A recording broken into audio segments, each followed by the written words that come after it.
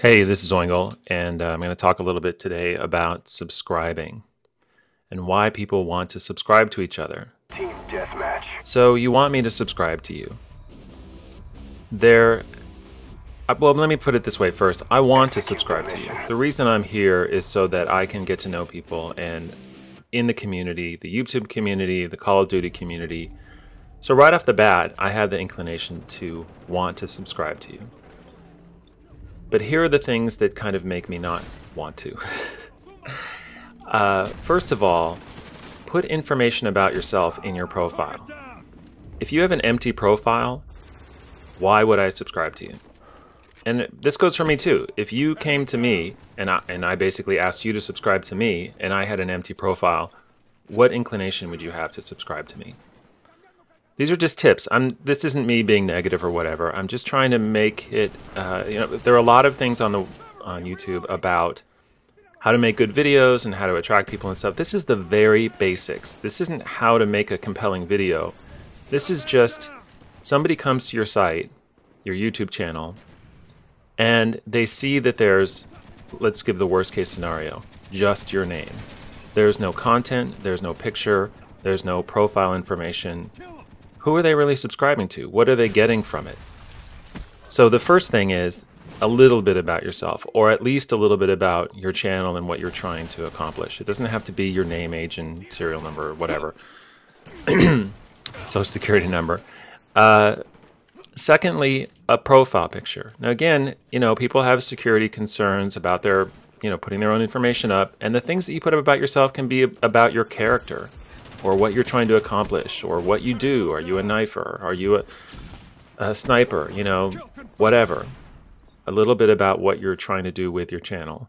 And then a picture also doesn't have to be a picture of you. It can be uh, a logo that you've come up with, or some graphic that you got out of you know the game itself you know call of duty graphic or something but just something that shows that you did a little bit more than just sign up put up some videos a lot of people ask me to subscribe to them and they don't have any videos what am i subscribing to um, we can chat with each other we don't have to be subscribed to each other to do that so the subscription gains me nothing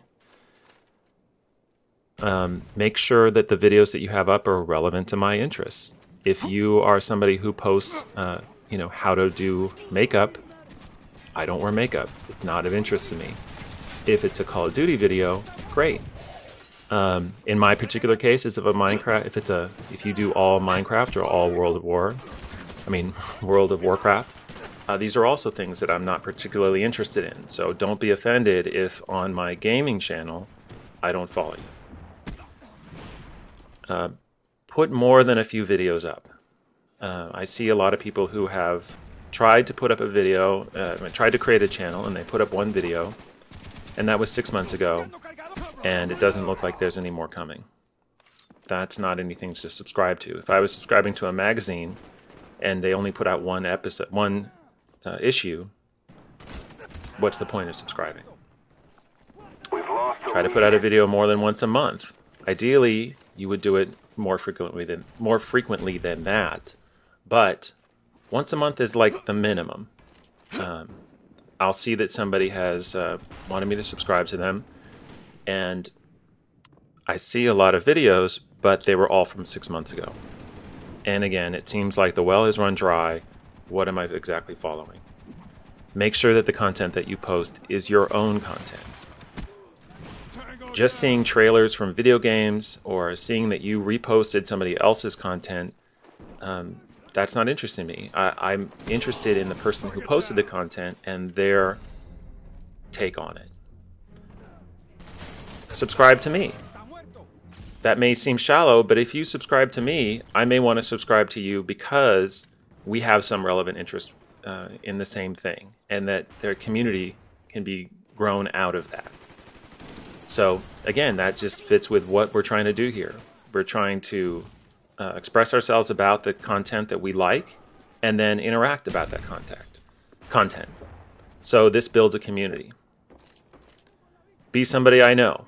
That's really shallow. Shallow. Um, my wife has a channel. She doesn't have a picture. She doesn't have any content up.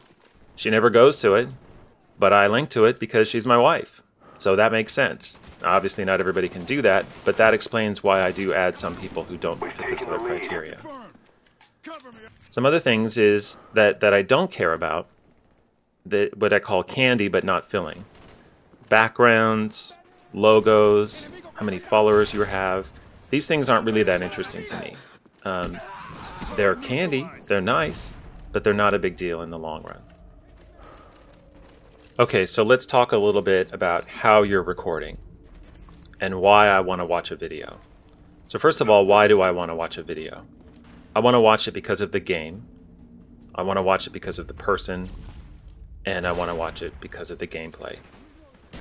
So first about the game. I am addicted to Call of Duty. I like watching gameplay. There's a certain aspect of this where I'm already hooked. Even bad gameplay is something I might be interested in, if there's something interesting about it. Secondly, I want to, you know, because this is all about community, it's because of the person. I'll watch somebody who has bad gameplay because I know them. Thirdly, it's the gameplay itself, the specific game that you're playing. There's something interesting about it. You did some trick shots, you came back from a loss, you know, whatever. Um, the other thing is getting to know that person. Over time, I'm going to continue to watch something because I get to see that person progress. After all of that is quality. Quality is great, and I know a lot of people will say that if you don't have, you know, an HD PVR, there's no point in putting gameplay up. I don't personally agree with that. So let's talk about the quality. Are you shooting, if you're shooting with a camera phone or a video recorder, that's not the worst thing. It's something that you're probably going to have to migrate away from, but if you're just getting started, it'd be better, I think personally, it's better to just get something up and start the process of posting on a regular basis and seeing if you even like doing it than to hold out and have something not come up on the web because you don't have the equipment yet. But here's a few tips about using a camera phone or a video recorder. Don't hold it in your hand. Mount it on something, place it on a table, whatever you need to do to keep it absolutely steady. And please shoot horizontally. YouTube is horizontal, it's not vertical. You get these big black boxes on the side.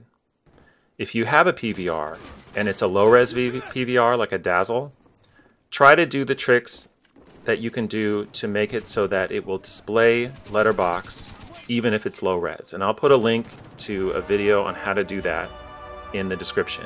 If you got a high res PVR, you're golden. So okay, put information about yourself in your profile, put up a picture, post some videos, make those videos something that we would be interested in before you ask me to subscribe to it. Post more than once a month, post your own content, and go ahead, ask me to subscribe to you. I want to subscribe to you. Make it easy for me. This is Oingle on Twitter, Facebook, and YouTube, and I'll talk to you soon.